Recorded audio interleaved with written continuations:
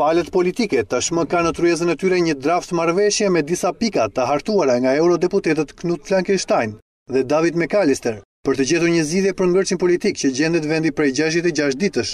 E marta do të jetë dita kur Fleckenstein dhe McAllister do të përpiqen të sjellin normalitetin politik në vend. Përpara se të takohen me përfaqësuesit politikë, të dy eurodeputetët do të zhvillojnë një deklaratë të përbashkët për shtyp. ku do të prezantojnë edhe qëllimin e vizitës së tyre në Tiranë dhe përpjekjet për të gjetur një pikë të përbashkët për të zhbllokuar situatën.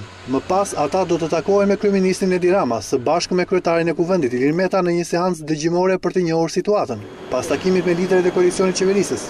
Takimi i radhës do të jetë me kryetarin e Partisë Demokratike Lulzim Basha.